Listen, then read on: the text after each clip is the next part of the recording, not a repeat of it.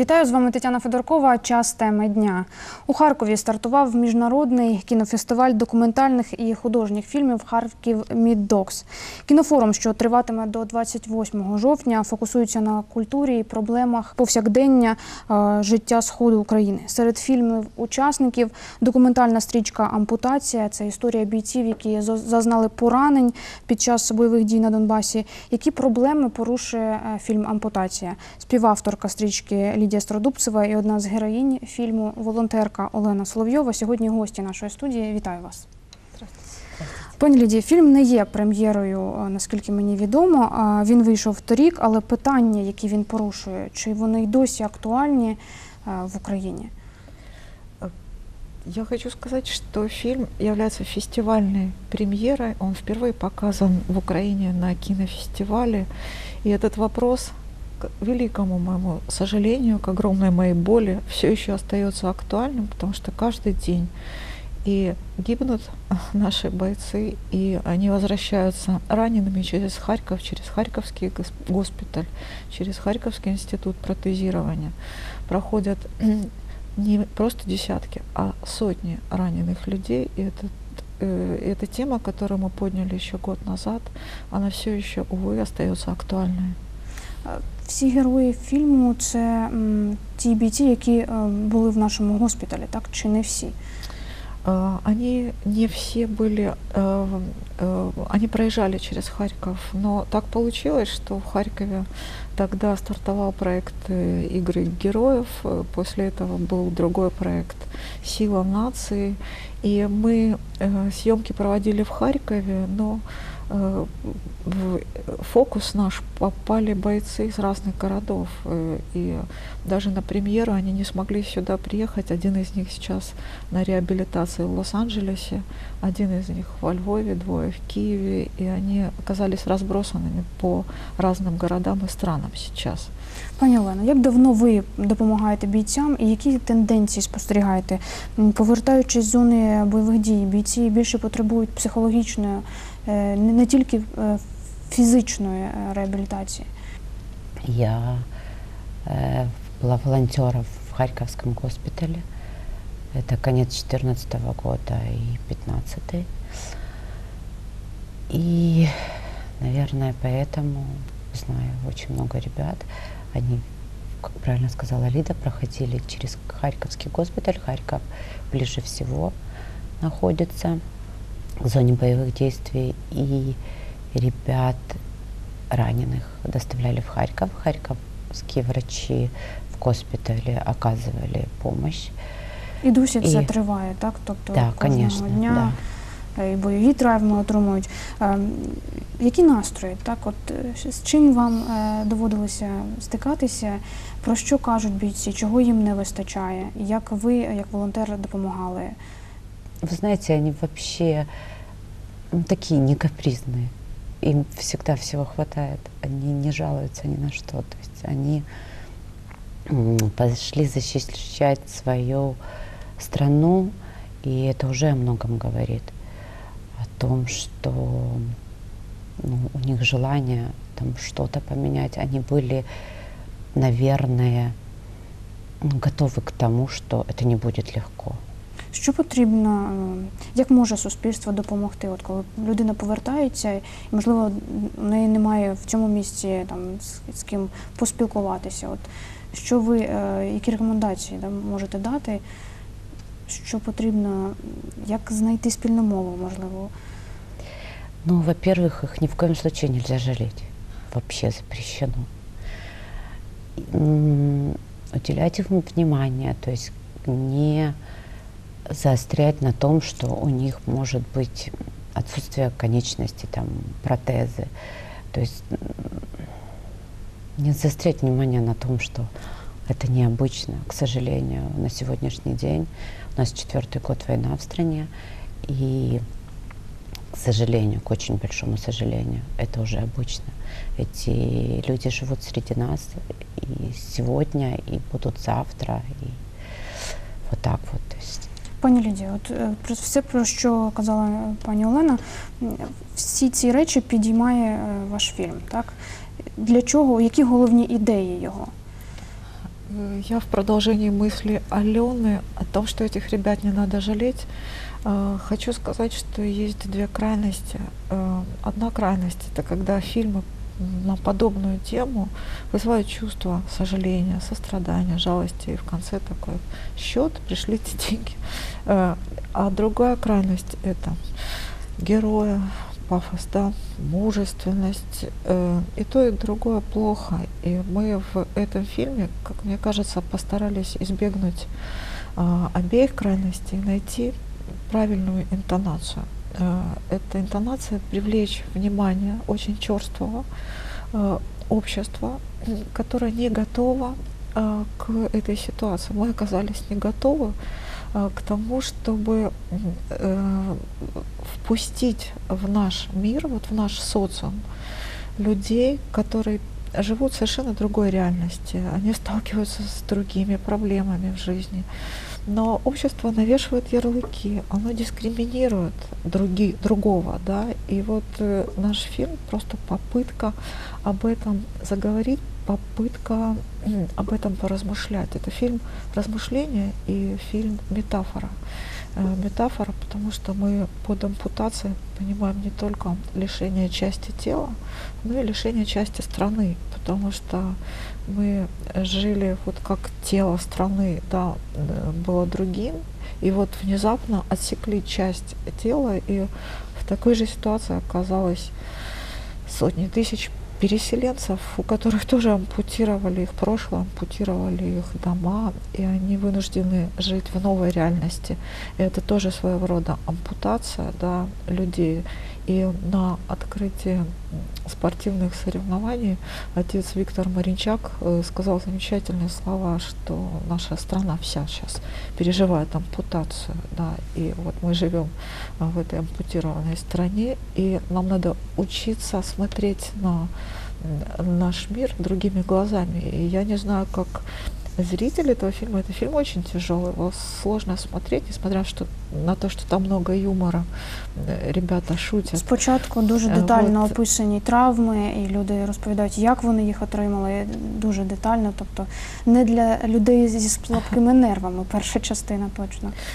Но вы знаете, Це К- Когда навмисно мы було? собираемся э, вот вместе, э, Алена не даст э, соврать, мы, Мы просто смеемся постоянно, и это, То есть это очень странно. Смехотерапия. Это смехотерапия, но это действительно смешно. Ребята, это, это неподражаемый э, юмор. Ну, там, когда Фишер говорил, помните, Костя, что э, э, типичный э, юмор.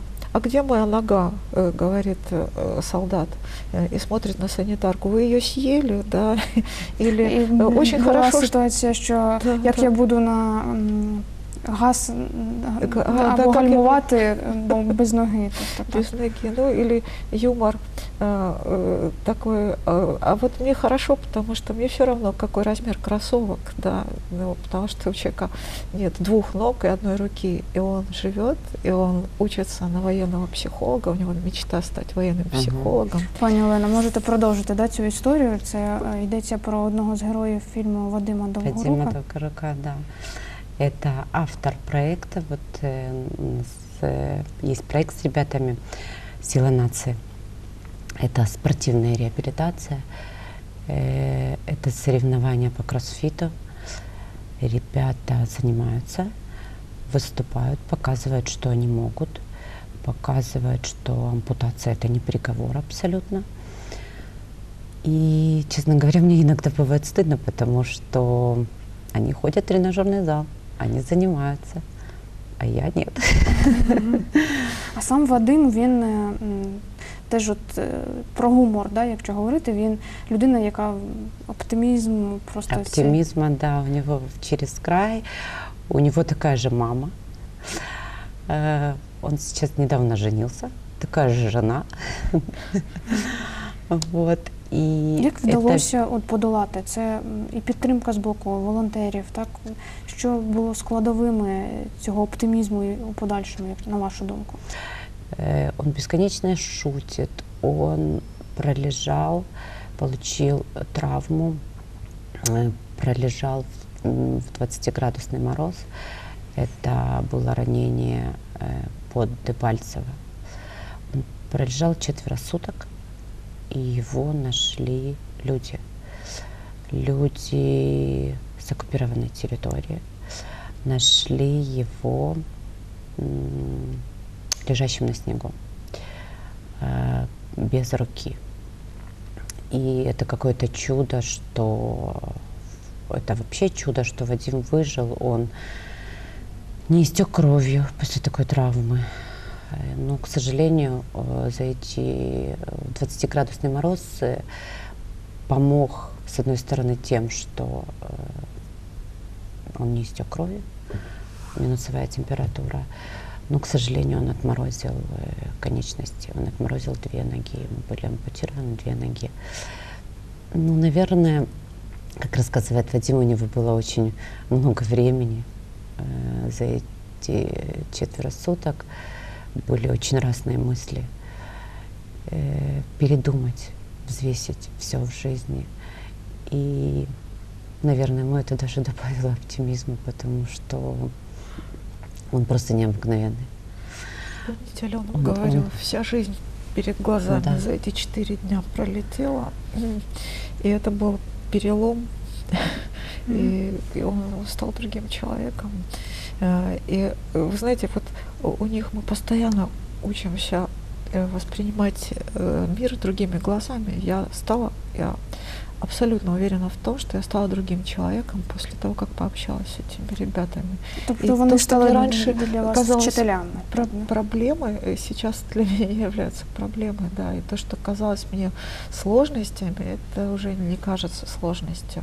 Да, это настоящие учителя. Вы знаете, я за всю жизнь э, не научилась столькому, сколько я научилась за этот год. Да, вот за этот год, м, пока я общалась с этими ребятами. Большое спасибо а, Алене за то, что, вы знаете, э, именно Алена э, была вот этим медиумом между камерой э, и этими ребятами. Они бы мне э, не доверили, потому что я все-таки человек из Пока не какой-то другой Как, пока Лизу не впустили, да, не, не приняли. впустили в свой мир. Был барьер очень большой, потому что человек из университета, человек с камерой, там какой-то А с журналист. камерой Лита всегда. Это, это всегда сложно, да, и тут очень важно было, чтобы они мне поверили.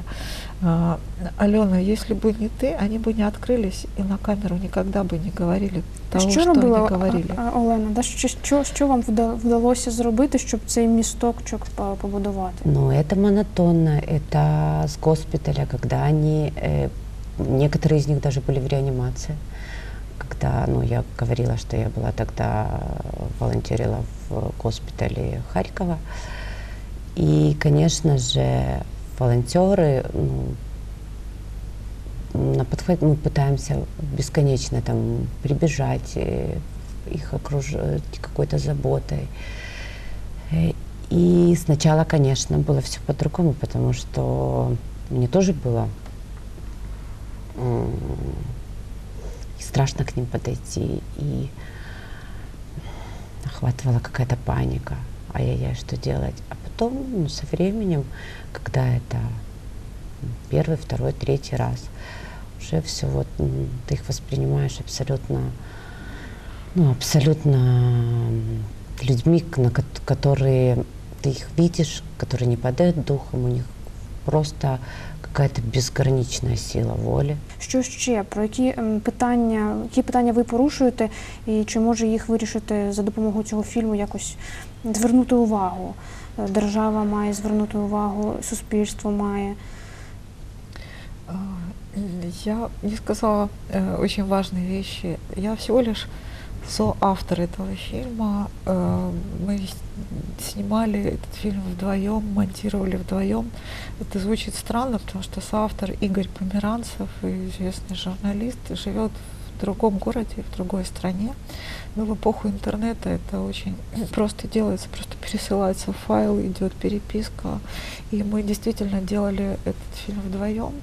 Вот, э, и идея этого фильма, конечно же, э, как ни странно, возникло в голове человека, который живет сейчас не в Украине, но очень сочувствует и сопереживает всему тому, что здесь происходит, потому что он родом из Украины. И вот он говорит, я бы пошел на войну, но я не могу по возрасту. А я тоже говорю, я бы тоже пошла, но я тоже не могу по возрасту, полу, ну не пойду я на войну, хотя очень хочется, да. Но мы что-то должны сделать. И вот мы долго думали, что же мы можем сделать. И вот э, первый месседж, вот то, о чем мы говорили, когда, собственно, рождалась идея фильма, это должен был быть фильм о патриотизме, но не таком квасном патриотизме, ура, ура, слава Украине, о настоящем патриотизме, когда ты и испытываешь боль за свою страну, и когда ты пытаешься понять мотив человека, который э, своим выбором сделал войну. И у нас там герой фильма Миша Ващенко говорит, это очень сложно, находясь в полном сознании, сделать этот выбор. Да? Ты понимаешь, что ты можешь потерять жизнь, ты понимаешь, что ты можешь остаться на всю жизнь без руки, без ноги, раненым, э, и ты сознательно делаешь этот выбор. И вот главный месседж, наверное, первый, с чего все начиналось, а почему эти ребята пошли на войну, жалеют ли они об этом, оказавшись уже после войны в этой ситуации. И оказалось, что нет, не жалеют. Каждый из них этот выбор сделал сознательно. И вот что такое патриотизм? Что значит любить свою страну? Что значит э, в мире, который значит, по, полон людьми, которые танцуют на дискотеках, ходят в кафе и занимаются бизнесом, вот, вот взять и решить, а я должен защищать эту родину. Я очень люблю фразу Хичкока о том, что э, в художественном фильме Бог режиссер, он все решает, а в документальном фильме режиссер э, Бог, вот, потому что э, вот ты задумываешь одно, а получается совсем другое, потому что когда мы это придумывали, мы не знали ни одного раненого, мы не знали ни одного бойца, и когда мы с ними познакомились, весь фильм, весь сценарий, все, что мы писали, синопсис, все поменялось, потому что мы столкнулись совершенно другим, и фильм стал другим. Он менялся на глазах, да, и появились новые месседжи, да, и э, вот один из них это э, граница, граница между войной и миром, как ее перейти. Э, и третий очень важный э, месседж это мужество этих людей. Это может быть очень обычно звучит, да, но это поразительное мужество. Для меня эти люди это сверхгерои. И вот по эту сторону те люди, которые считают себя нормальными, вот мы, люди с инвалидностью. Вот, вот это очень важные месседжи, которые э, подводят нас к вопросу, для кого же этот фильм, да. А вначале мы думали, что это фильм как раз для этих ребят, которые попали в эту ситуацию, э, э, для того, чтобы помочь им разобраться з тим, як жити далі і знайти все мужество. Э, жити ну, і можливо, дальше. ще зафіксувати да, все це. Як? Зафиксировать, сохранить память и Сведчения вот, такие. свидетельства оставить о том, что сейчас происходит.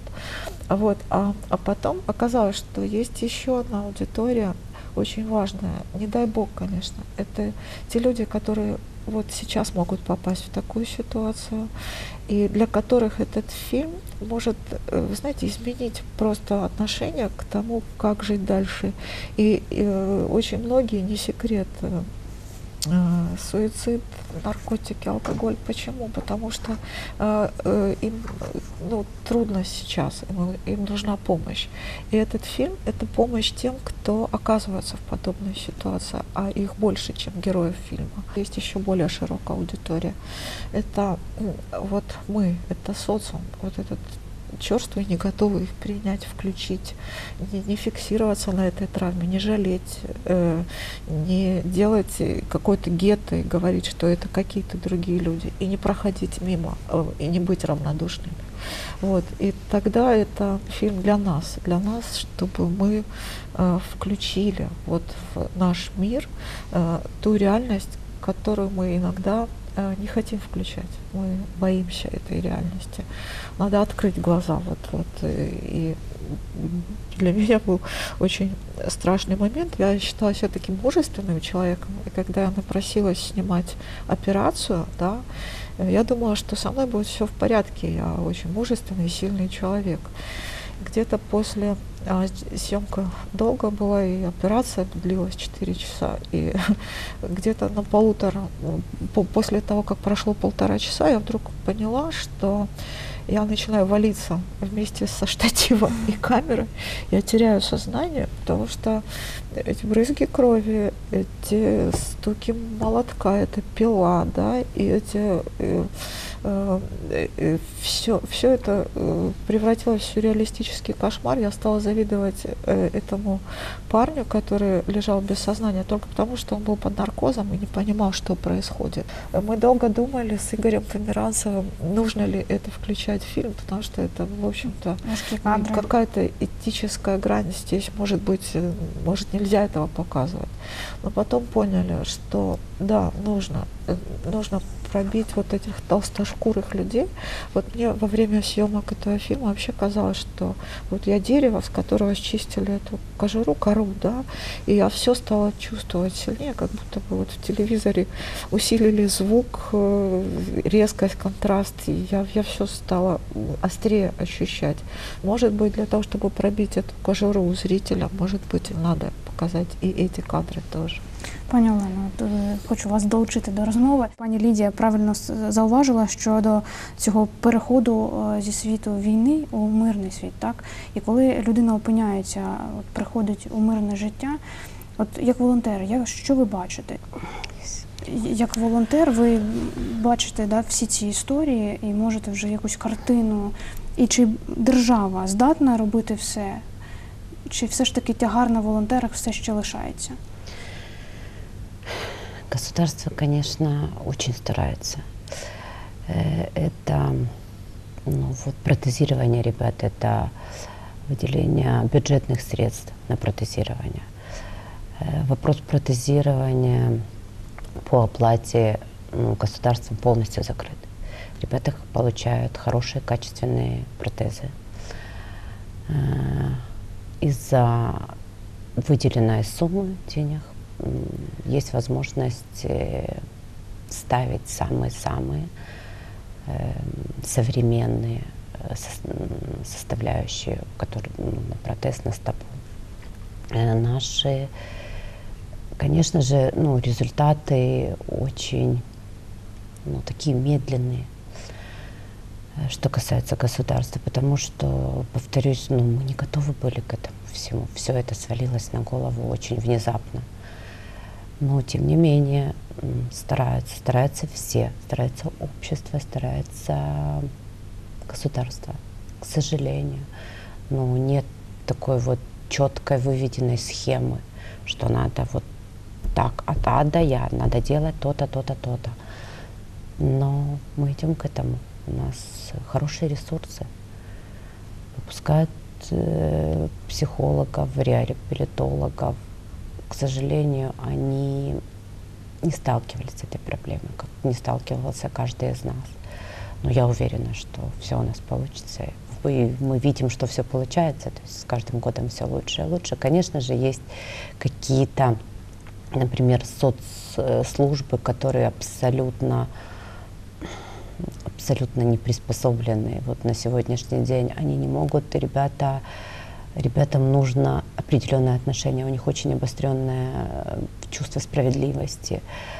А социальные работники не, понимають, да, не, ну, не понимають. То для цього повинні якісь спеціальні тренінги бути, тобто в державі ще є куди йти. Да, звісно, да. Пані Лідія, на вашу думку, документалістика, чи здатна вона вирішувати от такі проблеми, порушуючи їх, чи це все ж таки... Ну, конечно же, нет, я не наивный человек, я не думаю, что достаточно снять фильм, и все будет очень хорошо, все посмотрят, все все поймут.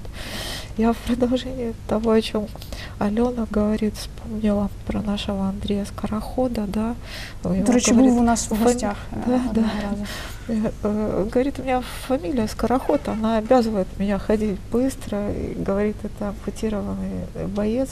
Э, И вот он мне рассказывал о том, как не готов бы военный психолог к тому, чтобы э, его лечить. Он говорит, ты сейчас должен переживать э, трагедию. Он говорит, почему я переживаю трагедию? Я э, хорошо себя чувствую, у меня все в порядке, а что, что случилось? Психолог, он же по учебникам все знает, и говорит, так, у тебя сейчас вот такая-то фаза, ты должен быть в депрессии. Он говорит, послушай, ты вообще был там, где я был?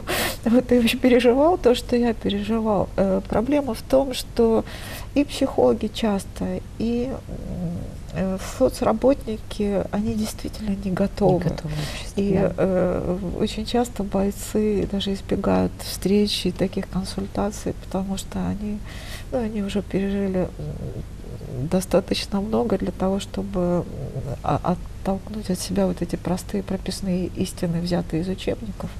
И, и мне кажется, что вот у нас предыдущий фильм был о психологах военных, психолог на войне, Шов назывался фильм. Э, Наш герой был военный психолог, который сам воевал, да, и вот только такой человек может, наверное, все-таки понять э, того, он то- тоже был в окопах, он тоже э, знает, что такое там взрывы, э, видел смерти, и вот, вот только такие люди, наверное, сейчас могут, ну, т- это, это целая система, мне кажется, подготовки военных психологов и социальных работников. Она, я не разделяю Алениного оптимизма, она еще очень, очень слабо развита в нашей стране, но мы учимся, к сожалению, мы вынуждены учиться. Э, Мы к- к этому сейчас призваны. Для, то- для того, чтобы ребятам помогать, нужно э, быть на одной планке, на одной отметке с ними. Дякую дуже вам за участь у програмі. Е, Нагадую глядачам, що фільм Ампутація можна подивитися на відеосервісі YouTube. Він є у вільному доступі на каналі Радіо Свобода. Детальніше про стрічки, які покажуть в рамках е, кінофестиваля Міддокфест, можна дізнатися на сайті офіційному. На все добре.